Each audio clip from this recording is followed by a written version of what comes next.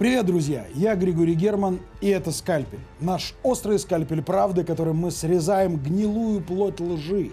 Лжи российской пропаганды, чтобы все мы увидели пугающую суть происходящего в стране победившего путинизма. А путинизм – это такой удивительный режим, который классическую российскую загадочность, ну вот это вот загадочная русская душа, вот эта шизофреническая парадоксальность, вот Достоевщина, он ее довел до абсолюта.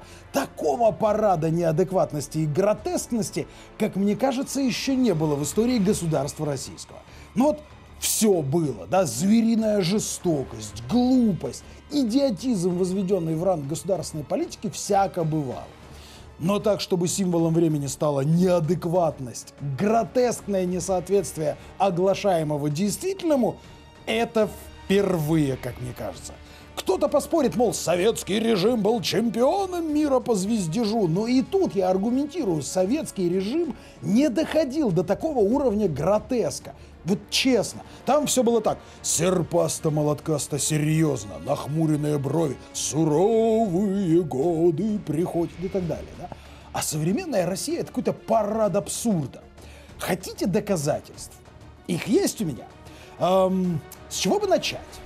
Хочу начать вот с чего. Такая интересная э, информация гуляет по интернету. Я сразу оговорюсь.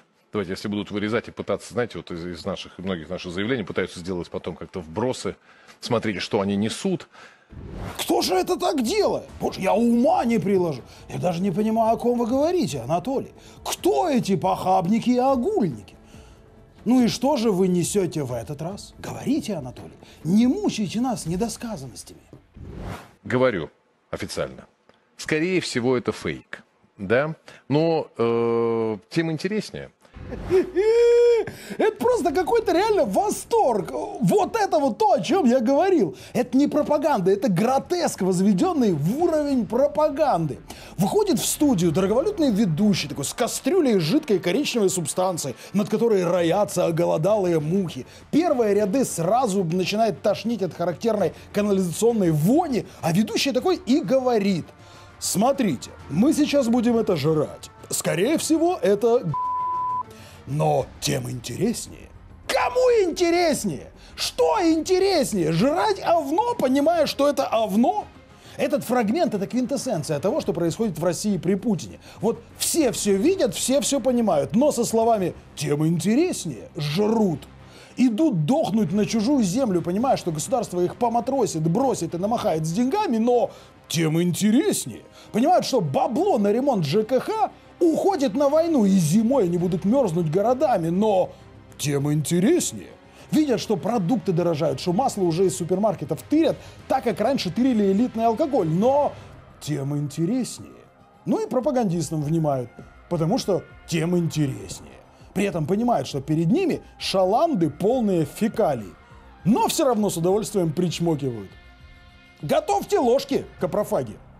Это не здание Верховной Рады Украины. Это здание Верховного Совета Украинской ССР, построенное советским архитектором Владимиром Заболотным, который за это получил сталинскую премию. И у нас очевидным образом рука не поднимается на наше.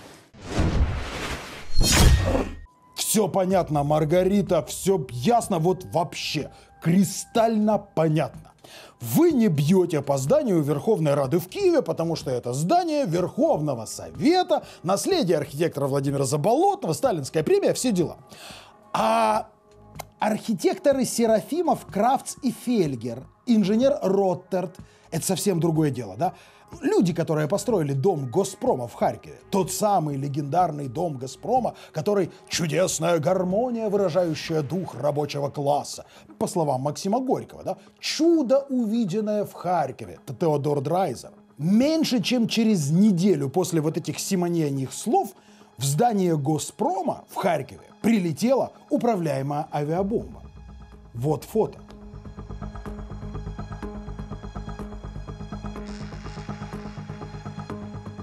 Да бог с ним, с ЮНЕСКО, достоянием которого является этот комплекс зданий. Это же вот та самая ваша любимое советское достояние, это же та самая ваша история, которую вы никому и никогда... Что произошло с домом Госпрома, Маргарита? Здесь читаем, здесь не читаем, здесь рыбу заворачиваем? Да все просто на самом деле.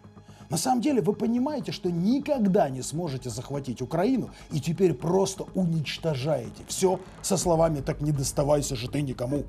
И плевать вы хотели на все это наследие со Спасской башни, прямо с Рубиновой звезды. Вы бьете туда, куда можете. Вот и все.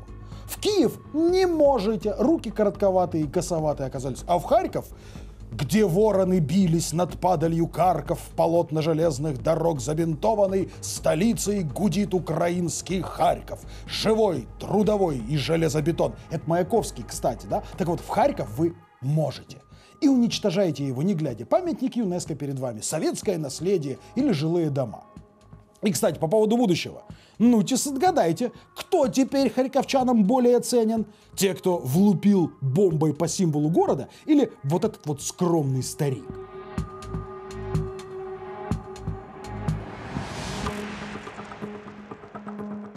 Это Уоррен Баффет, американский миллиардер и меценат. Он примчался в Харьков сразу после удара по Госпрому. Оценить ущерб, помочь восстановить. И кто же теперь, перефразируя того же Владимира Владимировича Здорового Человека, то есть Маяковского, да, нашему Харькову более ценен? Мы говорим «Россия», понимаем смерть, бомбы, страдания. Мы говорим США, понимаем помощь, восстановление и будущее. Это российская народная забава. Быть с теми, кто россиян уничтожает, грабит, насилует и убивает. Другие таким психическим заболеванием не страдают. И от России либо бегут, отбиваясь от всех ее инициатив, либо Россию откровенно юзают, пользуясь тем, что она застряла в коленно-локтевой. Застряла, но при этом на камеру делает вид, что «О, все в порядке, э, ей нравится, все прекрасно, и так и было задумано». Конечно, в Казани сейчас проходит главное мировое событие – это саммит БРИКС. Причем я уверен, что вполне возможно это событие войдет в учебники истории и через десятки лет, а возможно и сотни лет, э, это событие будут вспоминать как величайшее событие. Истинно сказано, золотые слова ваши, товарищ. Конечно, войдет, да. Выходит, то есть входит. Входит и выходит. Замечательно выходит, да. Ну, собственно, какой шарик, так и входит и, и выходит. А, правда, можно сказать по-другому. После вот этого форума страны, вступившие в БРИКС, пытаются очистить от него свои подошвы и вообще стараются понять, что им со всем этим счастьем бессмысленным делать. Потому что, ну да, слетать в Казань, попортить девок, поесть кыстыбы, татарскую традиционную лепешку с картохой, это, конечно, хорошо, вкусно, и город красивый, и Миниханов услужливый, но... А дальше-то что? Общая валюта. Минус. Путин скорее, э, ну скажем так, сложный, проблемный партнер, с которым приходится иметь дело, но на котором выгодно зарабатывать вот для партнеров по БРИКС. Вот, вот он э, выгоден им для зарабатывания, в том, особенно в условиях санкционного режима. Но именно санкционный режим э, создает и проблемы э, э для других стран в частности для Китая и для ряда других стран БРИКС. Именно по этой причине вот Китай, который, в принципе, ну, раздумывает над тем, чтобы ну, усиливать свой юань и продвигать свое экономическое влияние в БРИКС, он пока не спешит э, идти на предложение России создать параллельную финансовую систему.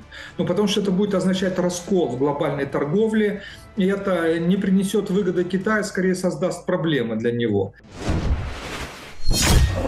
Что там еще было в наполеоновских планах? Расширение БРИКС? Принять Турцию? Индия против. Принять Венесуэлу? Бразилия против. От предложения Путина выступить единым антизападным фронтом у остальных участников форума тот самый Кыстыбый почему-то полез назад. Ну вот и получается, что саммит БРИКС в Казани на самом деле превратился в такое ничего не решающее никому не нужное, по большому счету, болото, посреди которого стоял скалой Путин. О саммите, который никого не волнует, также пишет а, сегодня Wall Street Journal. Примечательная заметка, а, в которой президент Путина называют скалой, человеком-камнем, которого пытались а, сломить, уничтожить, ввели бесконечное количество санкций. Но удивительным образом президент Путин стал тверже и крепче в результате войны. Перевел свою экономику на военные, как они пишут, рельсы.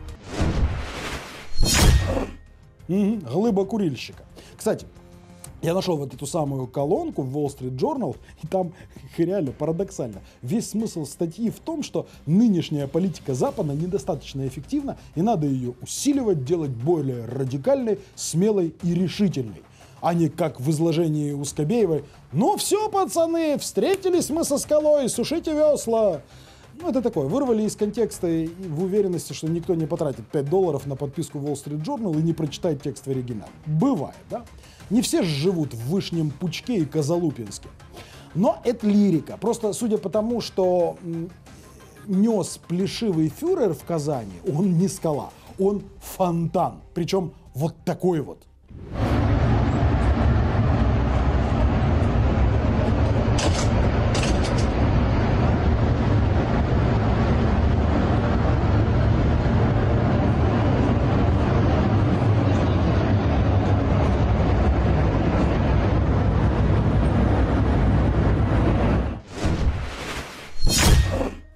Один в один, ребят. Напор, содержимое точно соответствует тому, что и как вещал кремлевский Карл. Кстати, э, видео вот это вот с фонтаном, оно из Подмосковья, так сказать, трейлер блокбастера «Особенности российского ЖКХ», выход которого запланирован на первые серьезные морозы. Вот и главдеда Российской Федерации вот так же несло, да? И про потери в Курской области, и про готовность противостоять НАТО бесконечно долго. Ну а на фоне этого фонтана, кстати, в соседнем зале звучали совсем другие песни. Там, э, как эти песняры в концерте в Сочи в 79 году Соловьем распевался агент Чипс. И такие вот удивительные нотки звучали в этой песне. Прям синкопа, вот прямо импровиз и прочее западное тлетворное влияние.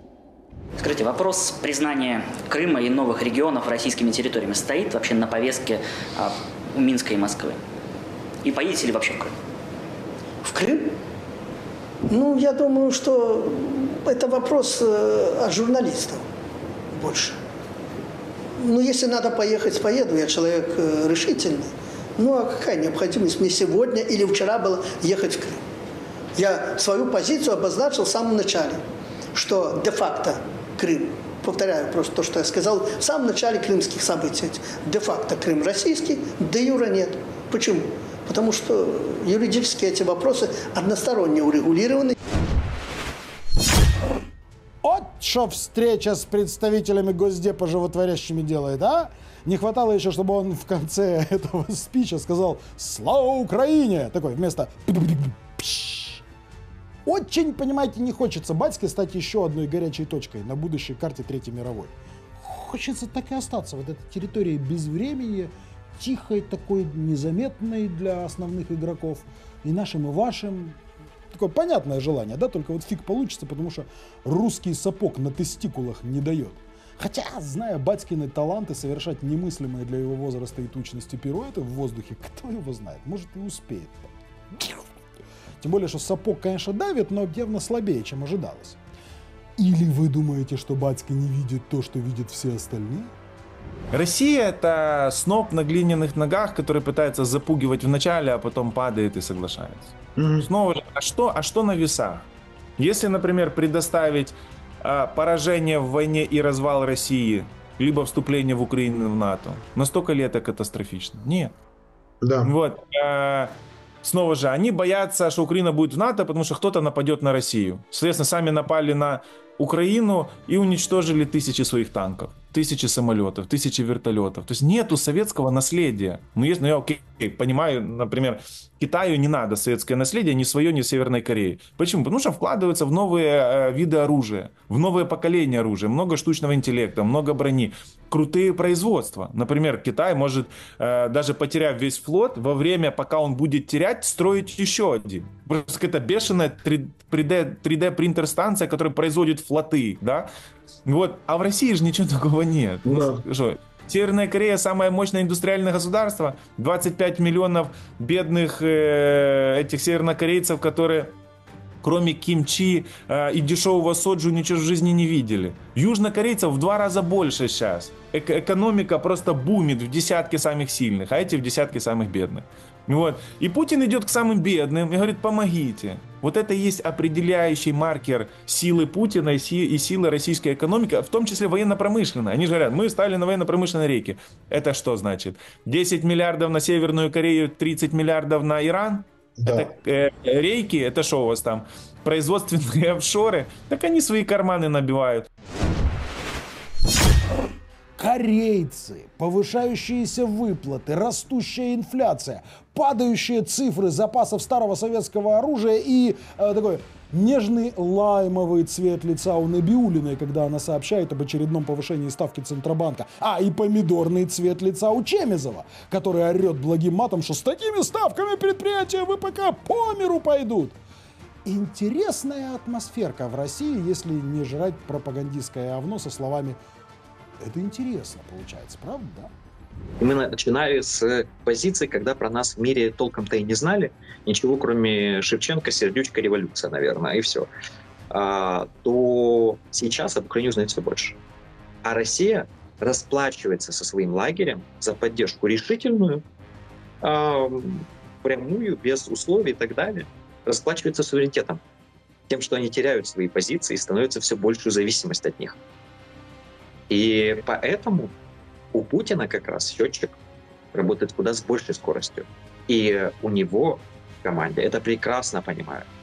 И поэтому 24-й, вхождение в 25 год, это момент, когда они будут повышать ставки по черным, поскольку дальше хороших перспектив у них совершенно нет. И 25 год Россия входит слабее, нежели она входила в 24 Но пока в студиях на сайтах и в подкастах зрителям выносят вот те самые кастрюли, это интересно. А зрители продолжают это интересно жрать, у режима, по идее, не должно быть проблем, правда? Ну, правда ведь? Потому что вот эта схема работает, пока удается маскировать запах.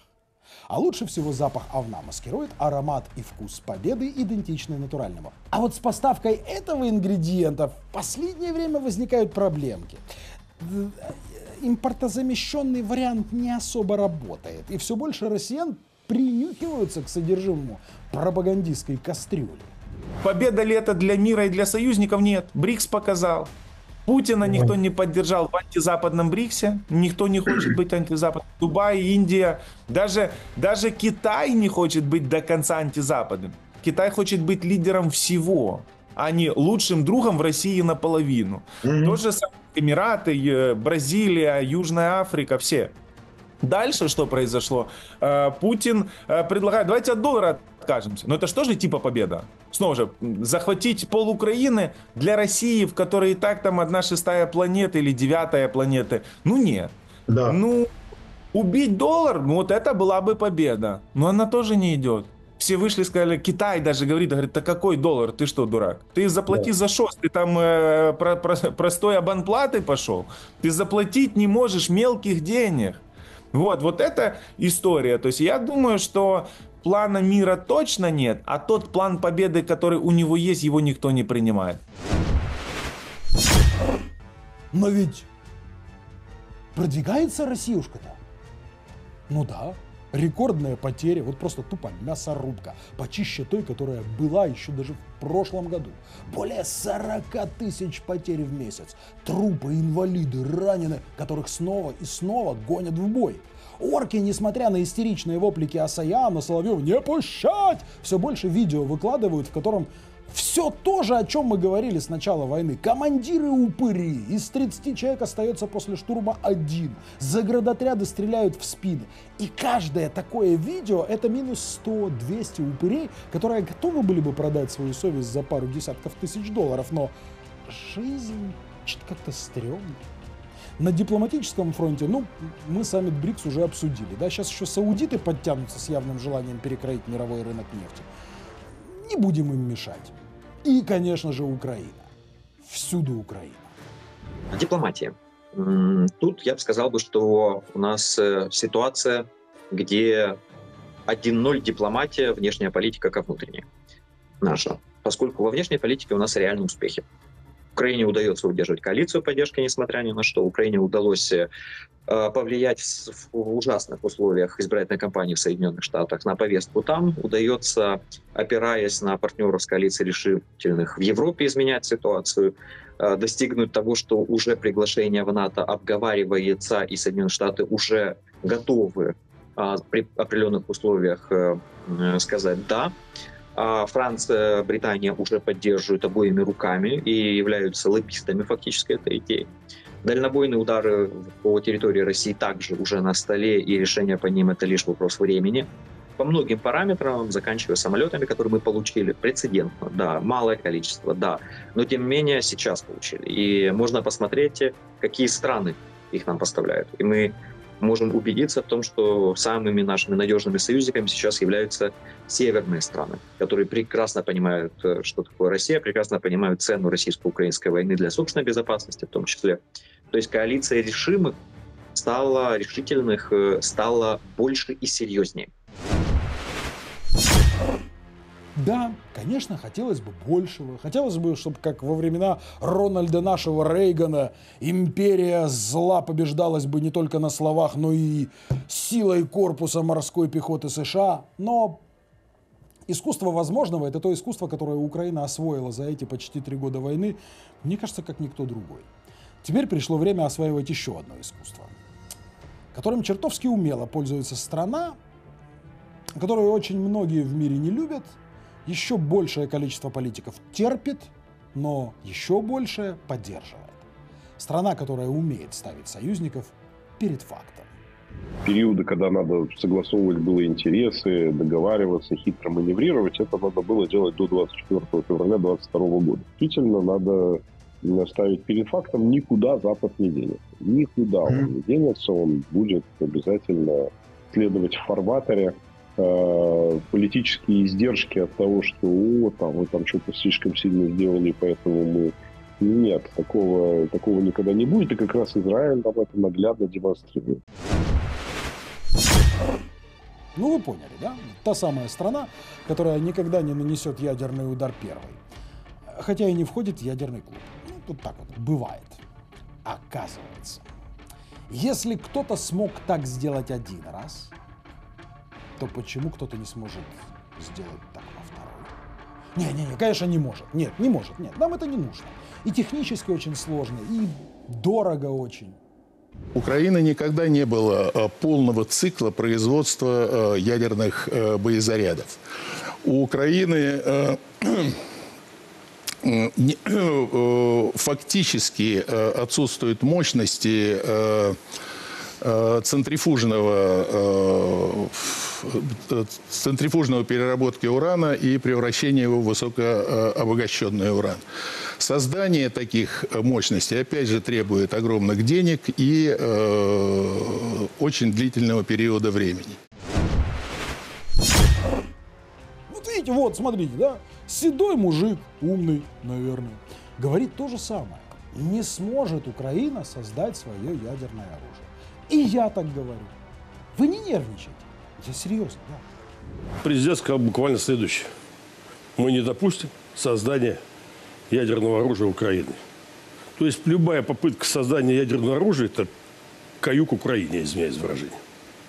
И, наверное, это правильно. Для нас это вопрос выживания.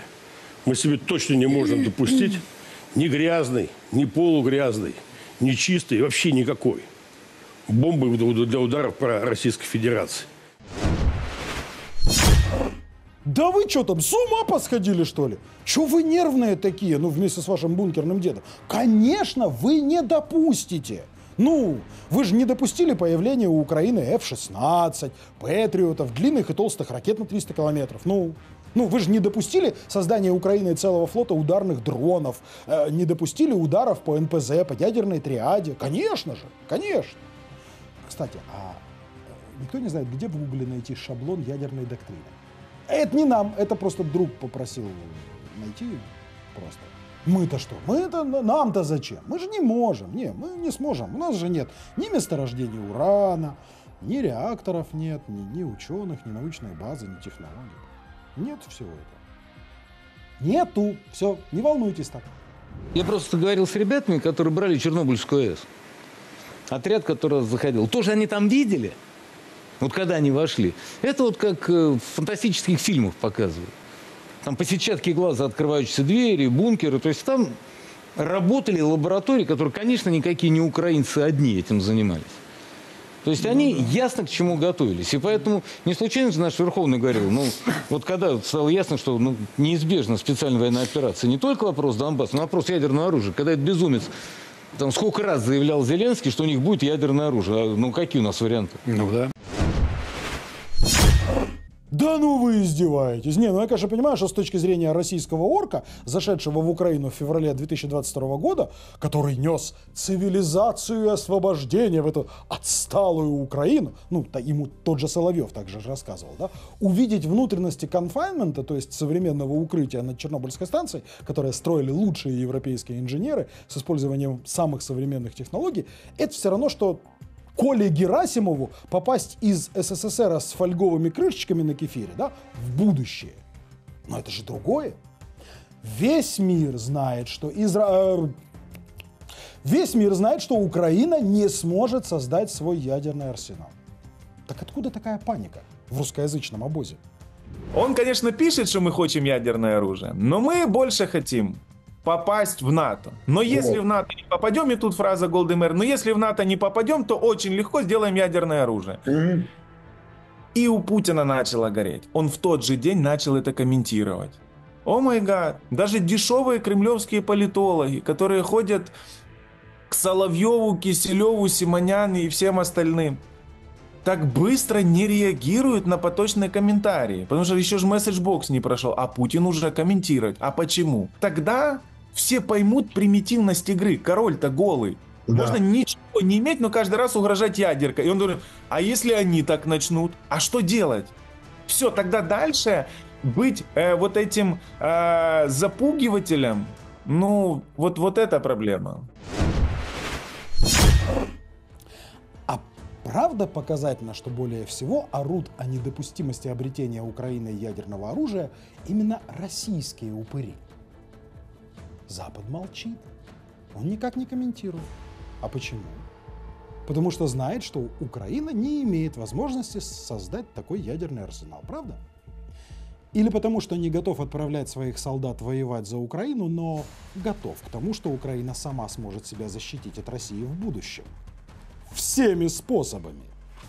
Да ну, не, фигня какая-то. Украина не сможет. Да, Израиль в пустыне без месторождения урана, без базы смог, Северная Корея без урана, без базы смогла. Иран без ученых, без базы смог, а Украина не сможет. Да, так и есть. Не сможет.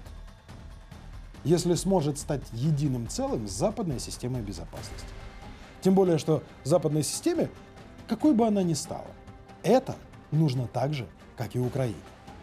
Пятый пункт он о будущем, о том, что мы не просто хотим получить от вас гарантии безопасности, ну, чтобы Россия вновь не пошла войной э, против Украины, но мы готовы стать частью системы безопасности. Мы готовы стать донором э, обновленной системы безопасности да. в Европе. Да, не всем, может быть, это нравится. Там кто-то, кто там против ухода американцев, не в восторге от этого предложения, что там мы можем заменить. Ну, это не важно. Мы можем и не заменять, мы можем быть рядом вместе, да. но, но мы точно можем усилить э, и стать одним из столпов обновленной системы европейской безопасности. И это на самом деле единственный, путь к безопасности в Европе, в том числе и к ядерной, к нераспространению, так сказать. Потому что все мы, все те, кто в тылу, все те, кто на фронте, даже все те, кто объективно устали и не вывозят, а такие, конечно же, есть и в Украине, когда уходят эмоции, понимают, никакие переговоры, никакие обещания не обезопасят наших детей и наших внуков от этой гнили, которая разлилась на просторах от Бреста до Владивостока. Простите, белорусы, но пока это именно такой расклад. Ну, давай вот просто, опять же, выйдем с тобой на четкие как бы понимания, о чем переговор. Вот о чем. У него есть ультиматум, да, то есть пункты понятны. Украина должна капитулировать. То есть, если mm-hmm. это в одно предложение вести, то есть, в принципе, да, то после чего, а, добившись эти результаты, чуть-чуть передышки, а учитывая, опять же, мы с тобой начинаем разговор, из чего? А с того, что э, коалиция зла, то есть уже э, Северная Корея уже включена в этот конфликт, он видит эффективность своих решений. Как ты думаешь, он остановится? А это значит или-или. Мы выбираем НАТО. И да, я сейчас обо всех украинцах. Мы выбираем НАТО. Мы – это, если я не ошибаюсь, более 80% украинцев. Путь, который проще для всех, это формализация отношений Украины и НАТО с последующим вступлением. Ну вот в чем парадокс. Э, вот есть э, как бы э, такое очень близкое партнерство, оно не формализовано. Mm-hmm. И мы хотим оформления отношений мы хотим стать полноправным членом НАТО, потому что нас э, не просто взаимодействие интересует. Это хорошо, это для нас очень важно, значимо, и мы готовы, и, думаю, даже расширять это взаимодействие. Но э, для нас важна формализация отношений, э, важна пятая статья, чтобы э, мы имели вот этот э, зонтик безопасности. Мы сами должны готовы стать частью системы безопасности НАТО. Тут, наверное, стоит объяснить тем нашим зрителям, которые живут в тех самых странах НАТО, и которые вполне резонно там, в Испании, в Португалии, в той же Германии, с одной стороны, не хотят почувствовать вкус немытого российского оккупационного кулака, но с другой стороны, так как этот вкус, он сильно гипотетичен, по крайней мере, состоянием на сейчас, они не хотят, чтобы их парни воевали за далекие от них восточноевропейские страны. Смотрите, ребят, и вам стоит объяснить это вашим соседям. Вступление Украины в НАТО не означает, что на следующий день там Хуана, Жуана или Йогана отправят воевать с немытыми и страшными русскими Иванами. Потому что кроме крайне мягкой пятой статьи Устава НАТО, мы уже обсуждали эту статью, есть еще и шестая статья – она непроста с точки зрения того, что ну, как бы это противоречит формальным э, э, механизмам НАТО, потому что НАТО должно действовать как единый блок. Однако, вот, кстати, я уже слышу от многих дипломатов и специалистов э, по НАТО, в том числе и людей, которые работали раньше в НАТО на разных высоких должностях, они очень часто ссылаются на статью шестую. А в чем ее смысл? В том, что она конкретизирует, как будет действовать статья пятая. То есть, если возникают для э, стран НАТО региональные вызовы, угу. то это не означает, что все члены НАТО участвуют э, в войне, а участвуют те э, страны, которые как бы географически, регионально имеют отношение к этому вызову. И это предпосылка. Предпосылка для особенностей э, оборонной доктрины, которая предполагает, если удар будет по странам Балтии, то кто должен отвечать? Да. Прежде всего страны, которые э, соседствуют, для них это тоже вызов. А также, конечно же, э, будут задействованы военные контингенты тех стран, которые расположены в странах Балтии. То есть, если Россия будет продолжать лететь паровозом навстречу пропасти, распевая ура патриотические песни имперских времен, Воевать с ней будут прежде всего страны, которые и так сейчас к этому готовятся. Страны, условно назовем их восточной стены. Финляндия, Балтия, Польша, Украина. Если Украина из-за слабости и нерешительности нынешних западных политиков не устоит, Румыния и Болгария, даже Турция. Потому что усиленная украинцами Россия может решиться и на Турцию. Ну а чего бы и нет, с нашим-то потенциалом. А все остальные страны, скорее всего, станут тылом воюющих государств. Не самая большая цена за то, чтобы избежать участи немецких женщин в 45-м, которых массово насиловали и убивали советские освободители. Ну или есть вариант еще быстрее, но рискованнее. То есть я считаю, что задача как физического уничтожения Путина и его окружения, так и политического демонтажа империалистической э, системы, вот это то, как мы должны сформулировать нашу задачу на 25 год. Вот именно это, да, то есть э, пусть лучше будет равновесие на линии фронта, э, чтобы не тратить дополнительно жизни солдат на попытки там отгрызть там какие-то 10 квадратных километров в одну сторону или, или в другую сторону. Но если мы завалим там 100 негодяев э, э, на, на, на той стороне, э, то это вот как раз и может привести к выходу России из войны. Но это, конечно же, не соответствует всем современным традициям международной политики, вот гуманизму. Опасно для конкретных западных политиков. А вдруг Россия начнет отвечать тем же? Но зато вот этот путь, который предлагает Пономарев, он быстрее. И без сомнения, вот это вызвало бы небывалое воодушевление в российском народе, который этих упырей, вот всех этих упырей во власти тихо ненавидит. Почему тихо ненавидят, а не громко, и почему, если ненавидит, не уконтрапупит, это хороший вопрос, на который должен ответить сам российский народ. Мы же в лучших традициях Винни-Пуха будем стремиться к идеалу. НАТО, ядерка или мертвый Путин? И того, и другого, и можно без хлеба. И поверьте, мы сможем. Не ради себя. С нами уже все ясно. Поколение, которое пережило развал страны, создание страны, три революции, одну пандемию и одну войну. Мы сможем это сделать ради того, чтобы наши внуки не знали, что такое российский сапог на нашей земле. Вот ради этого сможем. Вперед!